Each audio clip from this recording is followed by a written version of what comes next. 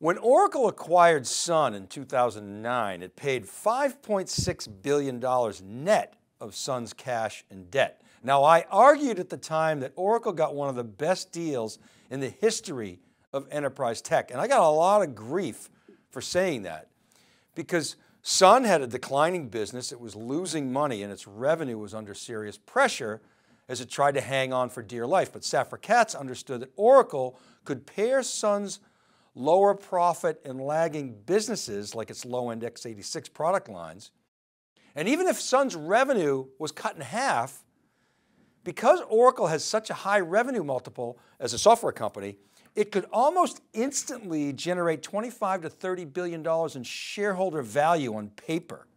In addition, it was a catalyst for Oracle to initiate its highly differentiated engineering systems business and was actually the precursor to Oracle's cloud. Oracle saw that it could capture high margin dollars that used to go to partners like HP, its original Exadata partner, and get paid for the full stack across infrastructure, middleware, database, and application software when it eventually got really serious about cloud. Now, there was also a major technology angle to this story. Remember Sun's tagline, the network is the computer? Well, they should have just called it cloud. Through the Sun acquisition, Oracle also got a couple of key technologies, Java, the number one programming language in the world, and MySQL, a key ingredient of the LAMP stack. That's Linux, Apache, MySQL, and PHP, Perl, or Python, on which the internet is basically built and is used by many cloud services like Facebook, Twitter, WordPress, Flickr, Amazon Aurora, and many other examples, including, by the way, MariaDB, which is a fork of MySQL created by MySQL's creator, basically in protest to Oracle's acquisition. The drama is Oscar worthy. It gets even better.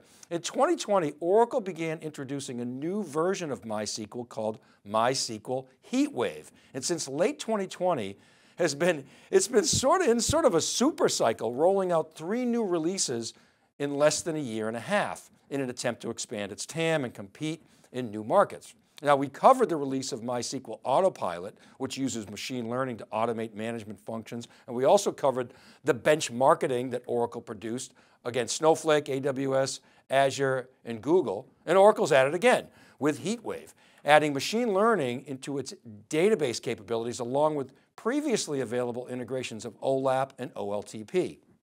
This, of course, is in line with Oracle's converged database philosophy, which as we've reported is different from other database, cloud database providers, most notably Amazon, which takes a right tool for the right job approach and chooses database specialization over a one size fits all strategy.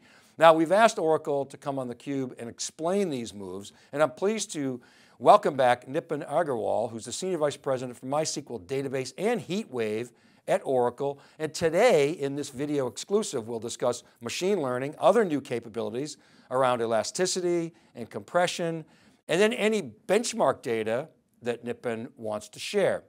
Nipun's been a leading advocate of the HeatWave program. He's led engineering and that team for over 10 years. And he has over 185 patents in database technologies. Welcome back to the show, Nipun. Great to see you again. Thanks for coming on. Thank you, Dave. Very happy to be back.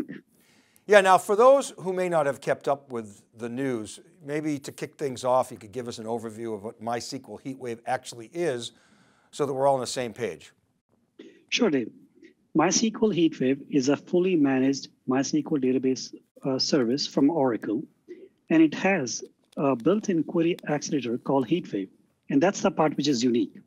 So with MySQL HeatWave, cu customers of MySQL get a single database which they can use for transactional processing, for analytics, and for mixed workloads. Because traditionally, MySQL has been designed and optimized for transaction processing. So in the past, when customers had to run analytics with the MySQL-based service, they would need to move the data out of MySQL into some other database for running analytics. So they would end up with two different databases, and it would take some time to move the data out of MySQL into this other system. With MySQL HeatWave, we have solved this problem, and customers now have a single MySQL database for all their applications, and they can get the good performance of analytics without any changes to their MySQL application. Now, it's no secret that a lot of times, you know, qu queries are not, you know, most efficiently written, and critics of MySQL HeatWave will claim that, that, that this product has, is very memory and cluster intensive, it has a heavy footprint, footprint that, that adds to cost. How, how do you answer that, Nipun? Right, so for offering any service, any database service in the cloud, there are two dimensions, performance and cost. And we have been very cognizant of both of them. So it is indeed the case that HeatWave is an in-memory query accelerator, which is why we get very good performance. But it is also the case that we have optimized HeatWave for commodity cloud services. So for instance, we use the least expensive compute. We use the least expensive storage. So what I would say suggest is for the uh, customers who kind of uh, would like to know what is the price performance uh, advantage of HeatWave compared to any database we have benchmarked against, Redshift, Snowflake, Google BigQuery, Azure Synapse. HeatWave is significantly faster and significantly lower price on a multitude of workloads. So not only is it uh, in-memory database and optimized for that, but we have also optimized it for commodity cloud services, which makes it much lower price than the competition. Well, at the end of the day, it's customers that sort of decide what the truth is. So to date, what's been the customer reaction? Are they moving from other clouds, from on-prem environments, both? Why, you know, what are you seeing? Right. So we are definitely seeing a whole bunch of migrations of customers who are running MySQL on-premise to the cloud, uh, uh, to MySQL HeatWave. That's definitely happening. What is also very interesting is we are seeing that a very large percentage of customers, more than half the customers who are coming to MySQL HeatWave are migrating from other clouds. We have a lot of migrations coming from AWS Aurora, migrations from Redshift, migrations, migrations from RDS MySQL, Teradata, SAP HANA, right? So we are seeing migrations from a whole bunch of other uh, databases and other cloud services uh, to MySQL HeatWave. And the main reason we are told why customers are migrating from other databases to MySQL HeatWave are lower cost, better performance, and no change to the application. Because many of these services like uh, AWS Aurora are API compatible with MySQL. So when customers try MySQL HeatWave, not only do they get better performance at a lower cost, but they find that they can migrate their application without any changes. And that's a big incentive for them. Great, uh, thank you, Nipun. So can you give us some names? Are there some real world examples of, of these customers that have migrated to MySQL HeatWave that you can share? Oh, absolutely. I'll give you a few names. Uh, Estuda.com. Uh, this is an educational SaaS provider based out of Brazil. Uh, they were using Google BigQuery. And when they migrated to MySQL HeatWave, they found a 300x, right? 300 times improvement in performance, and it lowered their cost by 85 Another example is Neovera. Uh, they offer cybersecurity solutions, and uh, they were running uh, their application on an on-premise version of uh, MySQL. When they migrated to MySQL HeatWave, their application improved in performance by 300 times, and their cost reduced by 80%. Right? So by, by going from on-premise to MySQL HeatWave, they reduced the cost by 80%, improved performance by 300 times. VR Glass, another customer based out of Brazil, they were running on uh, AWS uh, EC2. And when they migrated, uh, within hours, they found that there was a significant improvement, like you know, over 5x improvement in database uh, performance. And they were able to accommodate a very large virtual event, which had more than a million visitors. Um, another example, Genius Sonority. They are a game uh, designer and operator in Japan. And when they moved to MySQL HeatWave, they found a 90 times per improved performance. And many, many more, like a lot of migrations again from like, you know, Aurora, Redshift, and many of the databases as well.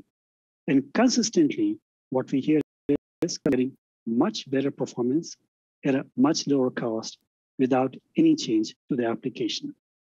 Great, thank you. I, you know, when I ask that question, a lot of times I get, well, I can't name the customer name, but I got to give Oracle credit. A lot of times you guys have your fingertips. So you're not the only one, but, but it's, it's, it's somewhat rare in this industry. So, okay, so you got some good feedback from those customers that did migrate to, to MySQL HeatWave. What else did they tell you that they wanted? Did, did they you know, kind of share a wish, wish list and some of the white space that you guys should be working on? What did they tell you? Right. So as customers are moving more data um, into MySQL HeatWave, as they're consolidating more data into MySQL HeatWave, customers want to run other kinds of processing with this data. A very popular one is machine. So we have had multiple customers who told us that they wanted to run machine learning with data which is stored in MySQL HeatWave. And for that, they have to extract the data out of MySQL to learn. So that was the first feedback we got. Second thing is MySQL HeatWave is a highly scalable system. What that means is that as you add more nodes to a HeatWave cluster, the performance of the system improves almost linearly. But currently, customers need to uh, uh, perform some manual steps to add nodes to a cluster or to reduce the cluster size. So that was other feedback we got that people wanted this thing to be automated. Third thing is that uh, we have shown in the previous results that HeatWave is significantly faster and significantly lower price compared to competitive services. So we got feedback from customers that can we trade off some performance to get even lower cost. And that's what we have looked at. And then finally, like we have some results on various data sizes with TPCH. Customers wanted to see if we can offer some more data points as to how does HeatWave perform on other kinds of workloads. And that's what we've been working on for the last uh, several months. Okay, then we're going to get into some of that, but so uh, uh, how did you go about addressing the, these requirements? Right, so the first thing is we are announcing support for in database machine learning, meaning that customers who have their data inside MySQL HeatWave can now run training, inference, and prediction all inside the database without the data or the model ever having to leave the database. So that's how we address the first one. Second thing is we are offering support for real-time elasticity, meaning that customers can scale up or scale down to any number of nodes. This requires no manual intervention on part of the user. And for the entire duration of the resize operation, the system is fully available. The third, in terms of the costs, we have doubled the amount of data that can be processed per node. So if you look at a HeatWave cluster, the size of uh, the cluster determines the cost. So by doubling the amount of data that can be processed per node, we have effectively reduced the cluster size, which is required for running a given workload to half, which means it reduces the cost of the customer by half. And finally, we have also run the TPCDS uh, workload uh, on HeatWave and compared it with other vendors. So now customers can have another data point in terms of the uh, performance and the cost comparison of HeatWave with other services. All right, I, I promise I'm going to ask you about the, the, the benchmarks, but, but I want to come back and, and, and drill into these a bit. How, how is, is HeatWave ML different from competitive offerings? Take, for instance, Redshift ML, for example. Sure. Okay, so th this is a good comparison. Let's start with, like, say, Redshift ML. Like, there are some systems like, you know, Snowflake, which don't even offer any like uh, processing of machine learning inside the database, and they expect customers to write a whole bunch of code in, say, Python or Java to do machine learning. Redshift ML does have integration with SQL. That's a good start. However, when customers of Redshift need to run machine learning and they invoke Redshift ML, it makes a call to another service, SageMaker right? where so the data needs to be exported to a different service. The model is generated and the model is also outside Redshift. With HeatWave ML, the data resides always inside the MySQL database service. We are able to uh, generate models. We're able to train the models, run inference, run explanations, all inside the MySQL HeatWave service. So the data or the model never have to leave uh, the database, which means that both the data and the models can now be secured by the same access control mechanisms as the rest of the data. So that's the first part, that there is no need for any ETL. The second aspect is the automation, that for training, training is a very important part of machine learning, right? And it, it impacts the quality of the predictions and such. So traditionally, uh, customers would employ data scientists to influence the training process so that it's done right. And even in the case of Redshift ML, the users are expected to provide a lot of parameters to the training process. So the second thing which we have uh, worked on with HeatWave ML is that it is fully automated. There is absolutely no user intervention required for training. Third is it, in terms of performance. So one of the things we are very, very sensitive to is performance because performance determines the eventual cost to the customer. So again, in some benchmarks which we have um, published, and these are all available on GitHub, we are showing how HeatWave ML is 25 times faster than Redshift ML. And here's the kicker, at 1% of the cost. So for benefits, the data also remains secure inside the database service. It's fully automated, much faster, much lower cost than the competition. Great, thank you, Nipun. Now, so there's a lot of talk these days uh, about explainability and AI, you know, the system can very accurately tell you that it's a cat, you know, or for you Silicon Valley fans, uh, it's a hot dog or not a hot dog, uh, but they can't tell you how the system got there. So what is explainability and, and why should people care about it? Right. So when we were talking to customers about what they would like uh, from uh, a machine learning based solution, one of the feedbacks we got is that enterprises are a little slow or averse to uptaking machine learning because it seems to be, you know, like magic, right? And enterprises have the obligation to be able to explain or to provide an answer to their customers as to why did the database make a certain choice. With a rule-based uh, uh, solution, it's simple. It's a rule-based thing, and you know what the logic was. So the reason explanations are important is because customers want to know that why did the system make a certain prediction. One of the important characteristics of HeatWave ML is that any model which is generated by HeatWave ML can be explained. And we can do both global explanations or model explanations, as well as we can also do local explanations. So when the system makes a specific prediction using HeatWave ML, the user can find out why did this system make such a prediction. So for instance, if someone is being denied a loan, the user can figure out what were the attributes, what were the features which led to that decision. So this ensures like, you know, fairness. And many of the times, there is also like a need for regulatory compliance where users have a right to know. So we feel that explanations are very important for enterprise uh, workload. And that's why uh, every model which is generated by HeatWave ML can be explained. Mm -hmm. Now I got to give Snowflake some props, you know, the whole idea of separating compute from storage, but also bringing the, the database to the cloud and driving elasticity. So that's been a key enabler and has solved a lot of problems, and particularly the snake swallowing the ba basketball problem, as I often say. But what, what about elasticity and elasticity in real time? How is your version, and there's a lot of, of companies chasing this, how is your approach to an elastic cloud database service different from what others are promoting these days? Right, so a couple of characteristics.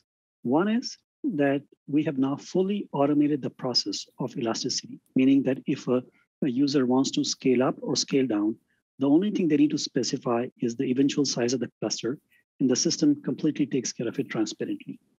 But then there are a few characteristics which are very unique. So for instance, we can scale up or scale down to any number of nodes. Whereas in the case of Snowflake, uh, the number of nodes someone can scale up or scale down to are the powers of two. So if a user needs 70 CPUs, well, their choice is either 64 or 128. So by providing this flexibility with HeatWave, um, uh, MySQL HeatWave, customers get a custom fit. So they can get a cluster of which is optimized for their specific workload. So that's the first thing, flexibility of scaling up or down to any number of nodes. The second thing is that after uh, the operation is completed, the system is fully balanced, meaning the data across the various nodes is fully balanced. That is not the case with many solutions. So for instance, in the case of Redshift, after the resize operation is done, the user is expected to manually balance the data, which can be very cumbersome.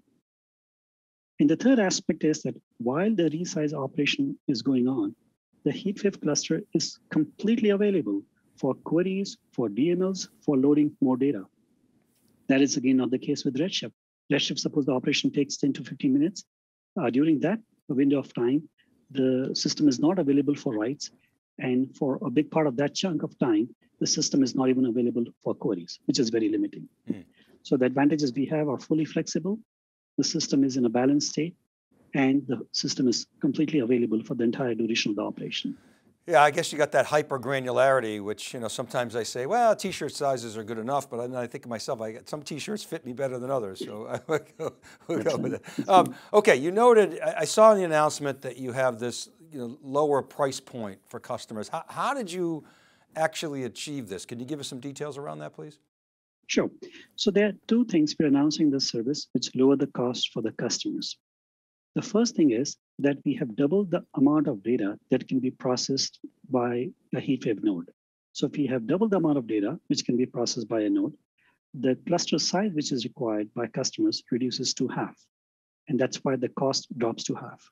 The way we have uh, managed to do this is by two things. One is support for Bloom filters, which uh, reduces the amount of intermediate memory. And second is we compress the base data. So these are the two techniques we have used to process more data per node. The second way by which we are lowering the cost for the customers is by supporting pause and resume of HeatWave. And many times you find um, customers of like know, HeatWave and other analytic services that they want to run some analytic queries or some analytic workloads for some duration of time, but then they don't need the cluster for a few hours. Now, with the support for pause and resume, customers can pause the cluster and the HeatWave cluster instantaneously stops. And when they resume, not only do we fetch the data at a very like you know quick pace from the object store, but we also um, preserve all the statistics which are used by autopilot. So both the data and the metadata are fetched extremely fast uh, from the object store. So with these two capabilities, we feel that it'll drive down the cost to our customers even more. Got it. Thank you. Okay, okay I promised I was going to get to the benchmarks. Uh, let's have it. How, how, do you compare with others, uh, specifically cloud databases? I mean, and how do we know these benchmarks are, are real? I, my friends at EMC, they were, back in the day, they were brilliant at doing benchmarks. They would, they would produce these beautiful PowerPoint charts, but it was kind of opaque. But what, what, what do you say to that? Right. So there are multiple things I would say.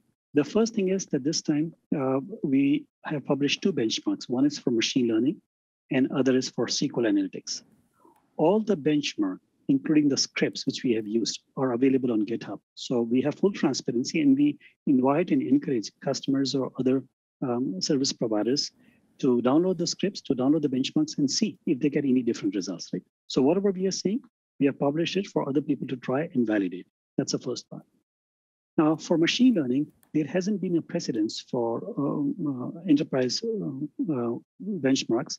So we took about 18 open data sets and uh, we have published benchmarks for, for, those, right? So both for classification as well as for regression, we have run the training times, and that's where we find that HeatWave ML is 25 times faster than Redshift ML at 1% of the cost, right? So fully transparent, available. For SQL Analytics, in the past, we have shown uh, comparisons with TPCH. So we would show TPCH across various databases, across various data sizes. This time, we decided to use TPCDS, the advantage of TPCDS over TPCH is that it has more number of queries. The queries are more complex. The schema is more complex, and there is a lot more data skew. So it represents a, a different class of workloads, and which is very interesting. So it's a um, um, so these are queries derived from the TPCDS benchmark. So the numbers we have published this time are for 10 terabyte uh, TPCDS, and we are comparing with um, all the four major services.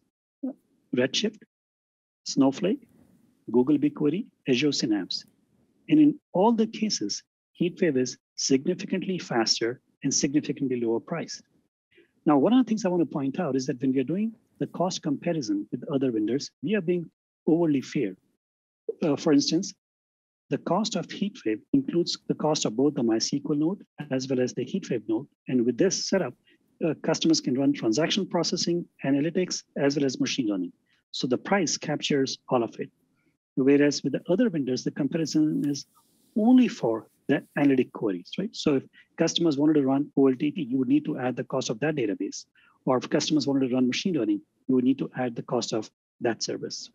Furthermore, uh, with the case of HeatWave, we are quoting pay-as-you-go price, whereas for other vendors like you know Redshift and like you know where applicable, we are quoting one year fully paid upfront cost, right? So it's like, you know, very fair comparison.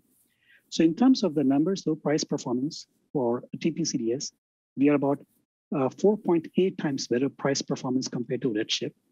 We are 14.4 times better price performance compared to Snowflake, 13 times better than Google BigQuery, and 15 times better than Synapse. So across the board, we are significantly faster and significantly lower price. And as I said, all of these scripts are available in GitHub for people to try for themselves. Okay. I get it. So I, you, I think what you're saying is you could have said, this is what it's going to cost for you to do both analytics and transaction processing on a competitive platform versus what it takes to do that on Oracle MySQL HeatWave, but you're not doing that. You're saying, let's take them head on in their sweet spot of analytics and, or OLTP separately, and you're saying you still beat them. So, okay, so you got this one database service in your cloud that supports transactions and analytics and machine learning. How much do you estimate you're saving companies with this integrated approach versus the, the alternative of kind of what I called up front, the right tool for the right job and uh, admittedly having to ETL tools. How, how can you quantify that? Right. So, okay, the numbers I quoted, right? At the end of the day, in a cloud service, price performance is the metric which gives a sense as to how much the customers are going to save. So for instance, for like a TPCDS workload, if we are 14 times better price performance than Snowflake, it means that our cost is going to be 1 14th for what customers would pay for Snowflake. Now, in addition, the eh, eh, other costs in terms of migrating the data, having to manage two different databases, having to pay for another service for like you know machine learning, that's all extra. And that depends upon what tools customers are using or what other services they're using for transaction processing or for uh, machine learning. But these numbers themselves, right? Like they're very, very compelling. If you are one fifth the cost of Redshift, right? Or one fourteenth of Snowflake, these themselves numbers are themselves very, very compelling. And that's the reason we are seeing so many of these migrations from these databases to MySQL HeatWave. Okay, great, thanks. Uh, last question in the Q3 uh, earnings call for, for fiscal 22, Larry Ellison said that MySQL HeatWave is coming soon on AWS, and that caught a lot of people's attention. That's not like Oracle. I mean, people might say, maybe that's an indication that you're not having success moving customers to OCI. So you got to go to other clouds, which by the way, I applaud, but, but, but any comments on that? Yeah, this is very much like Oracle. So if you look at uh, one of the big uh, reasons for success of the Oracle database and why Oracle database is the most popular database is because Oracle database runs on all the platform. And that has been the case from day one. So very akin to that, the idea is that there's a lot of uh, value in MySQL HeatWave, and we want to make sure that we can offer the same value to the customers of MySQL running on any cloud, whether it's OCI, whether it's the uh, AWS or any other cloud. So this shows how confident we are in our offering. And we believe that in other clouds as well, customers will find significant advantage by having a single database, which is much faster and much lower price than what uh, alternatives they currently have. So this shows how confident we are about our products and services. Well, that's that's great. I mean, obviously for you, you know, in MySQL group, you love that, right? The more places you can run, the better it is for, for you, of course, and your customers. Okay, Nipun, We've got to leave it there. As always, it's great to have you on theCUBE. Really appreciate your time. Thanks for coming on and sharing the new innovations. Congratulations on all the progress make you're making here. You're doing a great job. Thank you, Dave, and thank you for the opportunity. All right, and thank you for watching this CUBE conversation with Dave Vellante. For theCUBE, your leader in enterprise tech coverage. We'll see you next time.